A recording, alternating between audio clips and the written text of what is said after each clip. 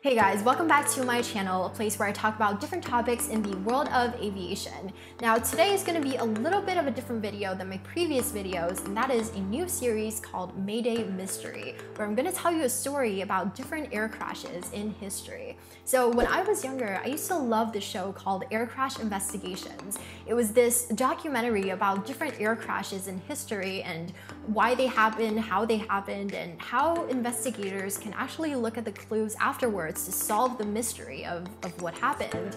And for some reason, I'm pretty sure that show like scars people from ever wanting to fly again, but for some reason, it really sparked my interest in aviation. And also lately, I've been really getting into like true crime podcasts and videos, and I just love their storytelling. So I thought, what better combination than true crime and air crash investigations? So so here you have it, Mayday Mysteries. I think it's not only super interesting just to read about these events and what happened, but also it's really valuable to learn from them so that we can make air travel safer today, whether that's as pilots or aircraft manufacturers or even as passengers just for us to know. Or this video can just scar you from flying I'm sorry if that's the case, please stop watching. but for our pilot video, we're going to be talking about the accident of Tenerife Airport. This was actually the deadliest air accident in history that took place on the ground. It was a collision between two Boeing 747s at Tenerife Airport. This was in March of 1977. It was basically a string of freak events that if you looked at any single one of them individually, it seemed really minor and trivial and not dangerous at all, but put together it actually led to this very, very huge tragedy. And so today in this video, we're gonna break all of that down. Stay tuned.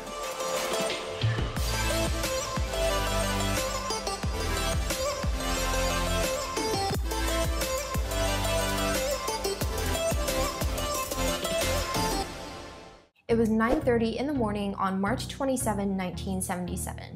At Amsterdam Schiphol Airport, a KLM flight 4805 was preparing to take off from Amsterdam headed to Gran Canaria. This was a small island as a part of the Spanish Canary Islands off the coast of Morocco. So this was actually a chartered flight by a Dutch travel group that also had a lot of children on this flight. Presumably they were going on vacation with their family to the Spanish Canary Islands. The captain of this flight was named Jacob Van Zanten, and he was a very senior and experienced pilot. So he was around 50 years old and had around 11,000 flight hours. He was also the chief flight instructor for KLM, so his job was actually to train and certify other pilots within the company. Just two months prior to this flight, he had actually given the qualification check to his first officer on this flight.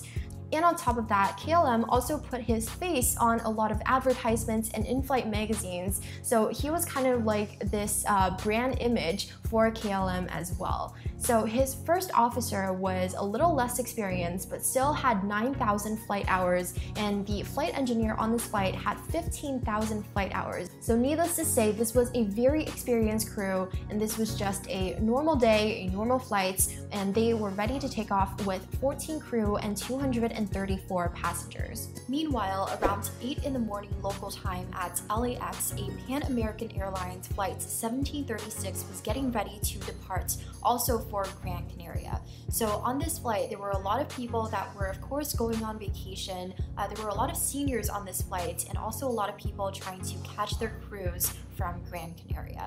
So the plan was that this flight was going to fly to JFK first to refuel and also pick up some passengers and change crew, and then head on to their final destination.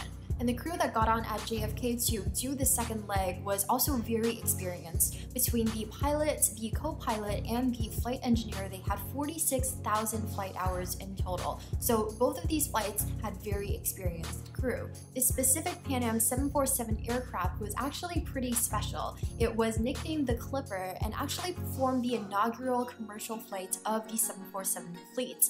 Years later, coincidentally, it was also the very first 747 to be hijacked in the air. So just an interesting note. So while both of these aircrafts were in the air headed towards Gran Canaria, at 1.15 local time, a small bomb exploded inside a florist shop of Gran Canaria Airport.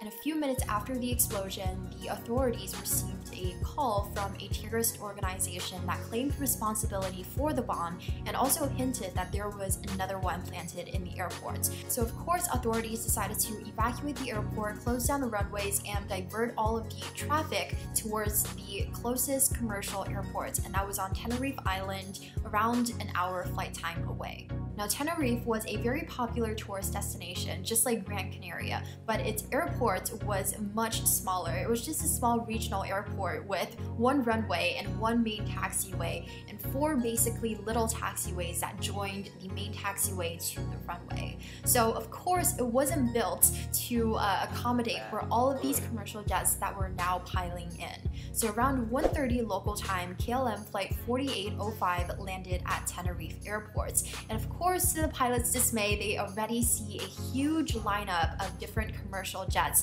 that were lined up on the small taxiway of this regional airport. But they had no choice but to join the queue and wait for Gran Canaria Airport to open again.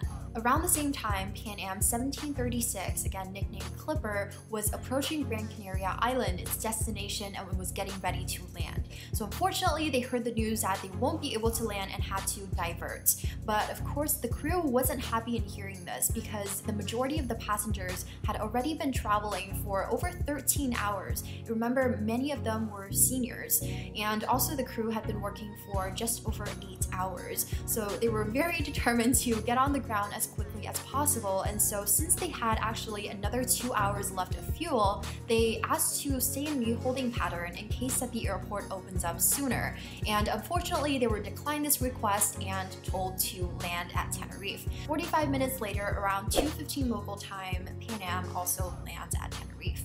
And again, since Tenerife was such a small regional airport, they only had two controllers, one controller controlling the ground and one controlling approaches. And as Pan Am was landing, they actually had so much trouble understanding the Spanish accent of the ground controller that they had to confirm their taxi instructions with the approach controller. So there was definitely a little bit of a language barrier there. But regardless, the Pan Am aircraft landed safely at Tenerife and joined the queue after the KLM. And by that point, KLM pilots actually actually decided to let their passengers into the terminal and made the decision to refuel. Now, they actually had plenty of fuel to get from Tenerife back to Gran Canaria, but they decided to still refuel because of crew scheduling. Just the year prior, the Dutch authorities came up with a very strict regulation on how many hours a crew can work for consecutively versus how much rest they have to get in between. And this wasn't a straightforward rule, it was a very complex calculation of different factors and different hours. So even the KLM pilots themselves were a little confused as to how much time they had to fly back to Amsterdam, but they definitely knew that this window was getting smaller and smaller. So they decided to refuel at Tenerife to minimize the amount of time they would have to spend on land at Gran Canaria and could fly back to Amsterdam as quickly as possible. So around 2.30 in the afternoon, Gran Canaria Airport was open once again, but KLM was still in the process of refueling, and the Pan Am that was stuck behind the KLM Also couldn't move as well. Since it was such a small airport, there wasn't enough room to move around. So both aircrafts waited for KLM to finish refueling. But also during this process, really bad weather set in. So Tenerife was actually around 2,000 feet above sea level, so the clouds of the island surrounding it would actually be at around ground level at Tenerife. So very often the island had foggy weather and low visibility. And that's exactly what happened during this refueling process process, so both KLM and Pan Am had to be further delayed due to this weather. Finally, at 4.45, all the refueling was done, the passengers were back on board, and the crew was ready to go. So around 4.50, KLM, then Pan Am, were given the clearance to start their engines. The captain of the KLM flight, Captain Van Zanten, actually said to his crew, hurry or else it will close again, referring to the fog. So both crew and their passengers had been very eager to get off the ground. At that point, the Pan Am crew had actually been working for 11 hours already. So around 5 p.m., both planes were ready to go and ready to take off. Now, both of these planes were still sitting on the main taxiway that was running parallel to the runway. And in order to take off, they needed to be on the runway, obviously, but on the other side of the airport. So the plan was for both aircrafts to taxi down the runway. So the KLM would taxi all the way down the runway to an 180 degree turn. Meanwhile, the Pan Am would take the third exit off of the runway onto the unobstructed part of the main taxiway and take that all the way down to the other side. So during this process, then the KLM can take off. So you might be able to see what can go wrong here. So air traffic control directed KLM to taxi down the runway and for Pan Am to follow it. They also told Pan Am to take the third taxiway off of the runway. Now by the time that Pan Am entered the runway, the visibility was very poor. They could only see about 100 meters in front. And on top of this, the taxiways actually weren't marked because again, this is a small regional airport. So the Pan Am pilots had no choice but to count the taxiways as they passed them to see which one they should exit at. Also, by air traffic control directions, what the Pan Am needed to do was actually make a 148 degree turn to the left, followed by another 148 degree turn to the right. Now, further analysis proves that this actually would have been practically impossible for such a large aircraft to perform on such a narrow taxiway. It was possible that the pilots saw this and thought, well, air traffic control must have meant the next exit, and instead of confirming with air traffic control, they just went to the next one instead, which turned out to actually be the fourth taxiway. So around the same time, the KLM had done their 180 degree turn and was now lined up with the runway to take off. And at this point, the captain starts to advance his throttles and the plane starts to roll forward. At this point, the first officer reminds him that they did not have air traffic control clearance yet. So the captain eases back and says, well, let's ask for it then. So the first officer transmits on the radio, we're ready to take off, waiting for ATC clearance. And in response to this, the controller said, KLM 8705, you are clear to Papa beacon, climb to and maintain flight level 900. Turn right after takeoff. Proceed with heading 040 until intercepting the 325 radial from Las Palmas VOR. Now this was actually instructions for where the aircraft should go after takeoff and was not a clearance for takeoff. Usually this is given way in advance of the aircraft being ready for takeoff, but since the KLM crew was preoccupied with their takeoff checklist, they waited until the last moment to get this instruction. And unfortunately, you'll notice that in the controller response, he opens with, you are cleared, and also contains the word takeoff in the sentence. So this may have added to the confusion of the KLM crew as they were busy doing other stuff as well. But regardless, the KLM first officer repeated back this instruction and followed that with, we are now at takeoff.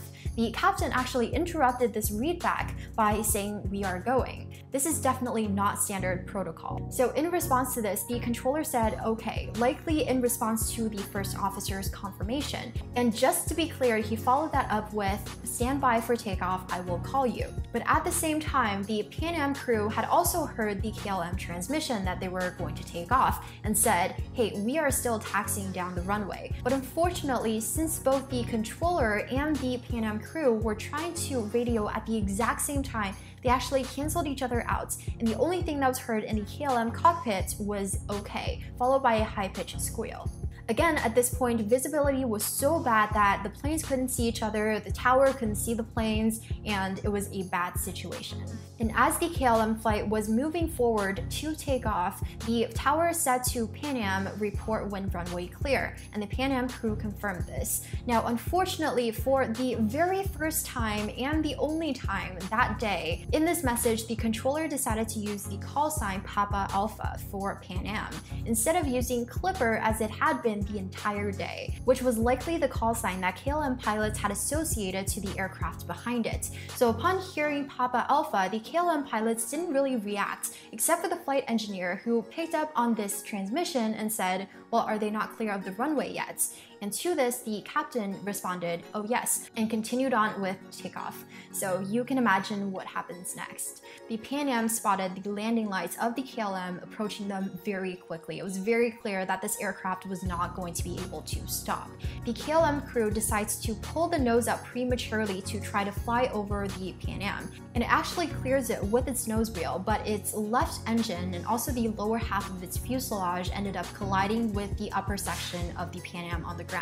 At the same time, the Pan Am crew was trying to veer sharply into the grass and apply full power to get out of the way as quickly as possible, but still the impact couldn't be avoided. And the KLM actually remained airborne for a couple of seconds, but its outer left engine was torn off and a lot of scrap metal pieces have been ingested by the inner left engine, so both of them were no longer working. And so the plane rolled to the left very violently and entered into a stall, and ended up crashing 150 meters down the runway. Unfortunately, all 243 passengers on the KLM passed away, and so did 334 passengers in the Pan Am flight, but fortunately 61 people on the Pan Am flight survived. Most of them were sitting on the first class section in the main deck, and also behind the left side wing, the side away from the impact.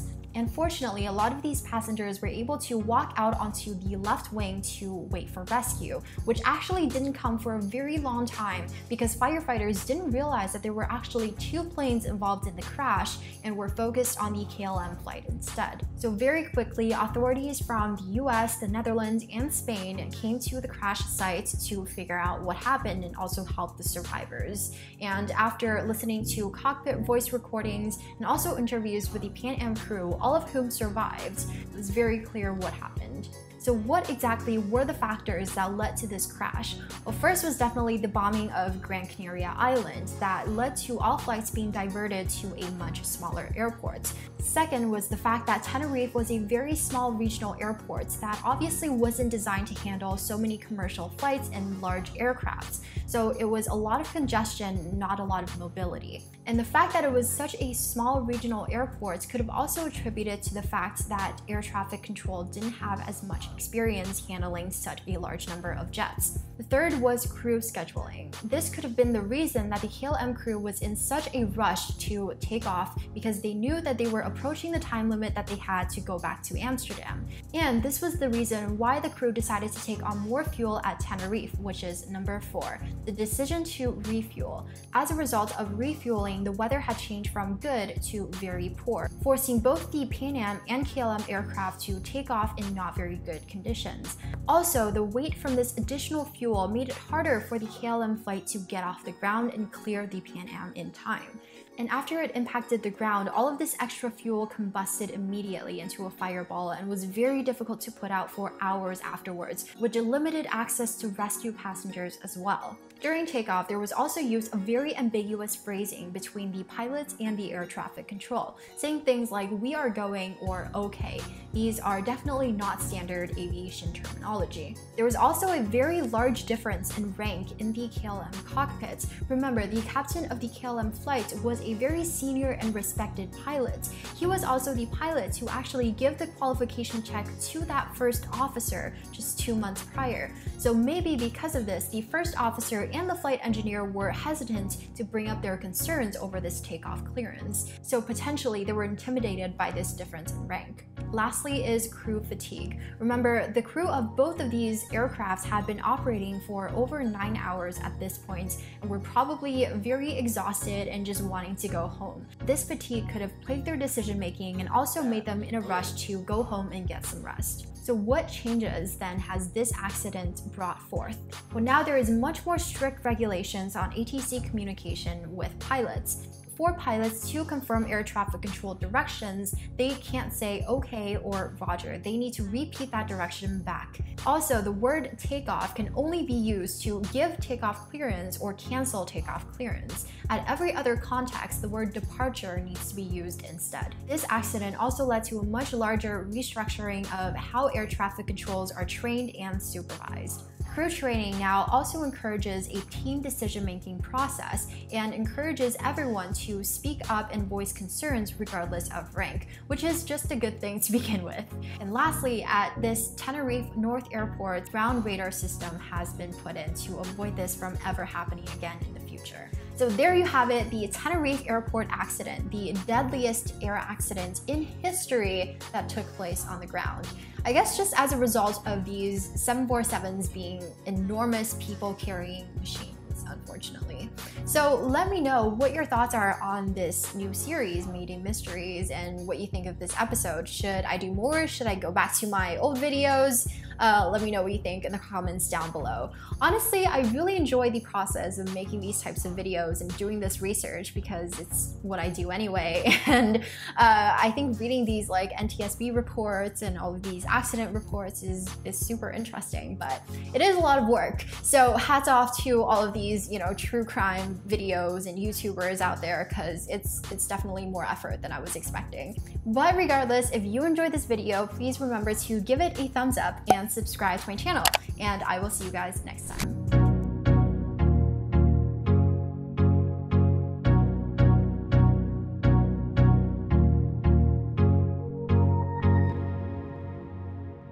Now, when I was a kid, I loved this show. Oh no. this happened in March of 1977. What, what was I going to say?